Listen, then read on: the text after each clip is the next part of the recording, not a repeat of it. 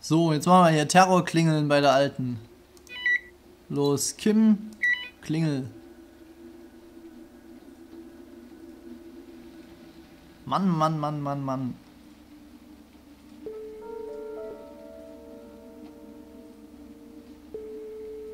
Funktioniert sogar? Hier ist die Mailbox von Kim McNamara. Ach nee. Ich bin zurzeit nicht zu erreichen. Hinterlassen Sie mir eine Nachricht. Kim, hier ist Dave, dein Mann. Oder sollte ich sagen Ex-Mann. Ich habe deinen Brief gelesen. Das ist nicht dein Ernst, oder? Hatten wir nicht vereinbart, dass wir nochmal über alles reden? Eins kann ich dir versprechen, wenn du diese Sache wirklich so durchziehst, dann bekommen wir zwei verdammt großen Ärger. Ich werde nicht... Maximale Sprachnachrichtlänge erreicht. Danke für Ihren Anruf. Verdammt! Toll. Dann rufen wir gleich nochmal an und sagen den Rest, den wir sagen wollten. Blödes Miststück. Los. Die kriegt was zu hören von uns.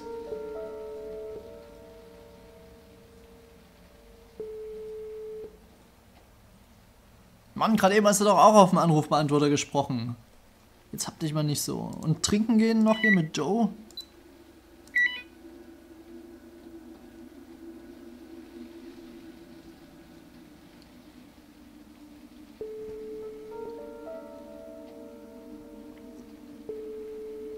Geht auch nicht. Ich dachte, er will jederzeit mit uns trinken gehen. Hat er das nicht gesagt? Gut, dann dann haben wir jetzt keine großartigen Auswahlmöglichkeiten. Dann gehen wir wirklich schlafen. Und lassen den Tag 2 auch hinter uns. Überlegen nochmal. Hoffentlich finde ich hier mal etwas Schlaf in den nächsten Tagen. Wenn nur diese verdammte Träumerei endlich aufhören würde. Mich würde ja wirklich interessieren, was Daves Psyche so beeinträchtigt oder was er überhaupt für Probleme hat. Außer jetzt Schlafproblemen. Aber wir legen uns jetzt erstmal schlafen. Noch nicht. Noch nicht? Gut, dann machen wir das, was wir jetzt wahrscheinlich jeden Abend tun, wenn wir den Abend ausläuten oder den Tag ausläuten. Wir gehen einen saufen.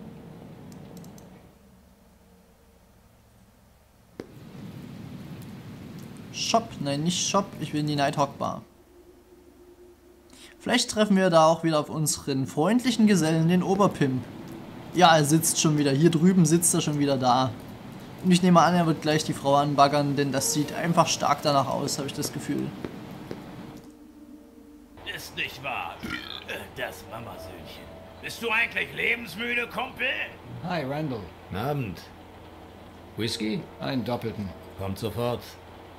Da bettelt jemand mal wieder um Schläge. So mit der können wir nichts anfangen, auch wenn sie hier so nett rumsitzt. Mit dem auch nicht. Dann können wir uns mal wieder bloß hinsetzen. Info. Ne? Ärger gehabt. Kann man so sagen. Ärger mit einer Frau. Hm? Sieht man mir das an? Sie sind ein cleverer Bursche, Randall. Hinterm Tresen bekommt man einen Blick dafür. Und äh, kriegen Sie es wieder hin? Sie meinen mit der Frau? Ich habe keine Ahnung. Schätze, das liegt nicht in meiner Hand. Noch einen bitte. Noch einen? Na, lassen Sie es langsam angehen, Junge. Hat sie einen anderen Kerl? Nein. Jedenfalls nicht, dass ich wüsste. Midlife Crisis? Wir haben einfach Ärger. Wer hat Schuld? Schuld? Naja, Schuld. Ich schätze ich. Was haben Sie angestellt? Ist eine lange Geschichte. Na, schießen Sie los. Du hast also eine Frau? Kein Wunder, dass sie auf einen Waschlappen wie dich keine Lust hat. Hey Riker, halt die Luft an, ja? Der Junge hier hat Probleme. Sicher hat er die. Die hat Probleme, bei der nur diese speziellen Operationen helfen. Eine Frau soll sich mal bei mir melden, Waschlappen. Dann lernt sie mal einen richtigen Mann kennen. Gib mir ihre Nummer, dann kannst du einpacken. Riker, es reicht jetzt. Ist schon okay, Randall. Na klar, Randall. Schon okay, Randall. Für den Waschlappen ist alles okay. Wollen wir wetten? Seine Frau macht gerade zu Hause mit einem anderen rum. Aber hey, für ihn ist das okay, Das glaube ich aber auch. Gut, dann gucken wir mal hier. Was haben wir denn? Kim. Also, Doc, raus mit der Sprache. Was wollen Sie hören? Die Geschichte von meiner Frau? Wenn Sie wollen. Ich bin gespannt.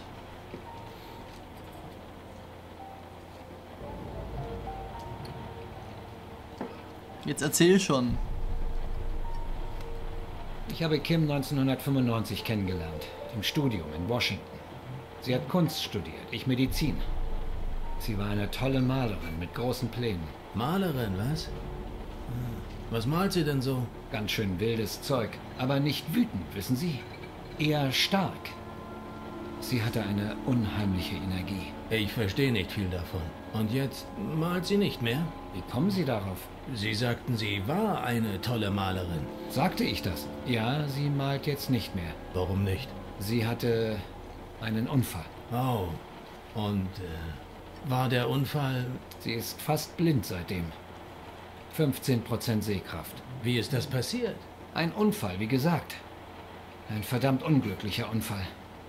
Wir hatten Streit auf einer Grillparty bei uns im Haus. Ich hatte... Naja, es war eben eine verdammt unglückliche Geschichte. Sie wollen nicht darüber sprechen. Hm? Mir reicht's davon zu träumen. Sie konnten ihr nicht helfen. Ist es das? Randall, hören Sie. Ich will nur was trinken, okay? Okay, okay. Entschuldigen Sie. Reden wir über was anderes. Ihr Job. Was ist mit Ihrem Job? Naja, die Leute denken immer sonst was, wenn sie hören, dass ich Psychiater bin. Manche meinen, ich könnte ihnen direkt in den Kopf sehen. Und alle ihre schmutzigen Gedanken lesen. Genau. Aber wissen Sie, eigentlich ist es ein ganz normaler Job. Andere reparieren Autos oder ruinieren Lebern. Und Sie, Sie reparieren Seelen, oder wie? Jedenfalls versuche ich's. Nicht wirklich reparieren, wissen Sie. Es ist mehr so etwas wie äh, Schutt beiseite räumen, Wege frei machen zu den Untiefen. Jesus, ich schätze, die würde ich nicht auch noch von anderen Menschen sehen wollen. Meine eigenen reichen mir völlig. Klingt nicht, als ob Sie viel Spaß hätten. Das ist nicht die entscheidende Sache im Leben. Aha. Was denn dann? Eine Sache ernst nehmen, sein Bestes geben, anderen helfen. Sorry, Doc, aber das klingt eher nach Army. So ein Zeug hat uns unser Captain erzählt. Die ganze Pfadfinderleier. Wir sind hier, um unseren Job zu machen. Wir sind hier, um zu helfen. Wir sind hier, um die Freiheit zu verteidigen. Und was haben wir gemacht? Wir haben kleine Kinder bombardiert.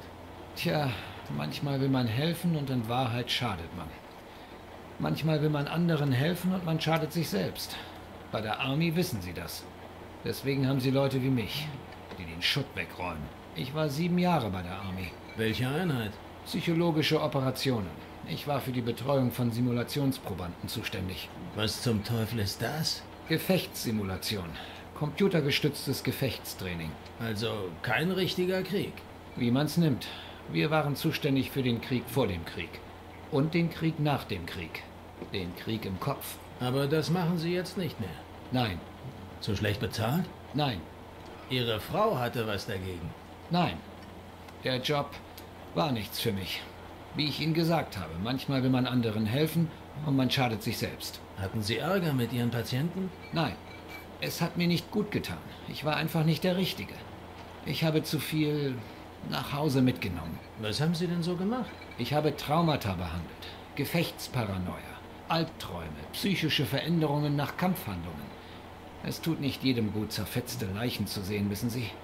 Es tut auch nicht jedem gut, daran schuld zu sein. Es hat Ihnen nicht gut getan, nur davon zu hören. Ist es das? Nein, nicht sehr. Und Sie haben selbst noch Probleme damit, hm? Lassen wir es dabei. Ist lange her jetzt. Ich bin fertig damit. Gut, jetzt hat er ja ganz schön gequatscht hier. Also scheint Dave daran schuld gewesen zu sein, dass sie ihr Augenlicht verloren hat. Das macht natürlich dann das Denken und Handeln von Kim ein bisschen nachvollziehbarer. Einfach weil er ihr, auch wenn er es nicht wollte natürlich, und sie auch weiß, dass er das nicht wollte, aber er hat ihren, ihren Lebensinhalt quasi kaputt gemacht damit. Und wahrscheinlich kann sie ihm das einfach nicht verzeihen. So, und jetzt reden wir mal über Arschloch Pimp hier drüben. Weißt du was, Kumpel? Du gehst mir gewaltig auf die Nerven. Und jetzt gibt's aufs Ich hab Maul! gesagt, du nervst. Trink deinen Wodka und halt die Klappe. In Ordnung? Sag mal, Waschlappen, kann es sein, dass du dich ein bisschen im Ton vergreifst? Ja! So redet man nicht Huch. mit Erwachsenen. Hat deine Mama dir das nicht beigebracht? Riker, pack das Ding weg. Halt du dich da raus, Randall. Tja, und nun? Jetzt machst du dir ins Hemd, was? Dazu nicht mehr alle. Deine Frau kann einem wirklich leid tun. Was zur Hölle?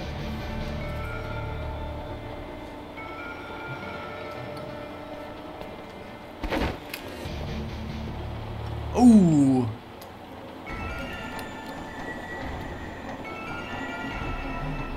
Okay, Sportsfreund. Und jetzt? Wer macht sich jetzt ins Hemd? Hey! Hör mal, Mann. Bleib ganz cool, ja? Das Ding könnte losgehen. Sag bloß. Mach keinen Blödsinn, Junge. Kann ich nicht versprechen. Hör auf, Mann! Bist du irre oder was? Es gibt Leute, die sagen das. Randall! Verdammter Mist! Der Typ durch! Schon gut, Randall. Tut mir leid. Ich wollte das nicht. Nicht mein Tag heute. Sieht ganz so aus. Ich gehe jetzt besser. Ich bin müde. Gute Nacht. Und die Knarre behältst du aber. Sehr gut. Meine Güte, ich muss wirklich aufpassen. Oder? Nee, der, wir haben die doch nicht. Schade. Ich dachte, wir kriegen ja die Knarre noch gleich von dem, aber offenbar doch nicht. Mann, Mann, Mann. Dave hat's einerseits ganz schön drauf und andererseits ist er aber offenbar doch auch schon ein bisschen kaputt und hat gewisses Aggressionspotenzial. Und wir Was legen für uns. ein Albtraum. Ich richte nur Schaden an. Ich gehe am besten sofort schlafen.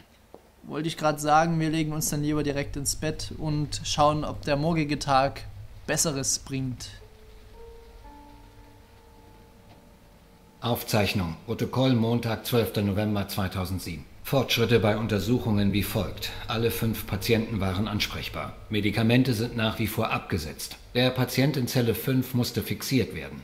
Die Maßnahme ist mit den Behörden abgesprochen. Für alle Patienten sind rekursive Rekonstruktionen gelungen, teilweise unter Einsatz von Atmosphäreveränderungen und externen Hilfsmitteln. Die Sitzungen wurden aufgezeichnet. Inhaltliche Auswertung ist nach wie vor schwierig. Hinweise auf Identitäten haben sich nicht ergeben. Von Bedeutung dürfte der Zusammenhang zwischen den Erinnerungen sein. Es zeichnet sich immer deutlicher ab, dass die fünf Patienten miteinander zu tun hatten und sich am gleichen Ort aufhielten. Zwischen mehreren Patienten ist es offenbar zu handgreiflichen Konflikten gekommen. Als Aufenthaltsort kann ein Militärgelände vermutet werden, mit großer Sicherheit am Wasser gelegen. Weitere Schritte? Fortsetzung der Rekonstruktion mit Hilfe der bisherigen Mitschnitte. Protokollaufzeichnung Ende. Privatnotiz. Kim hat sich einen Anwalt genommen. Frank. In der Kneipe an der Ecke saß heute zum zweiten Mal so ein Schwachkopf und hat mich provoziert. Wenn er wüsste, er würde seine Klappe nicht so weit aufreißen. Ich beherrsche mich und trotzdem, ich hätte um ein Haar abgedrückt. Ich hätte es beinahe getan. Vielleicht hat Kim recht. Ich habe jede Nacht Albträume. Ich weiß nicht, wie lange ich das noch aushalte. Ich weiß es nicht. Meine Güte, Dave, Dave, Dave. Du bist fertig. Dann leg dich lieber schnell ins Bett und versuche es zu Wenn vergessen. ich bloß heute Nacht schlafen kann.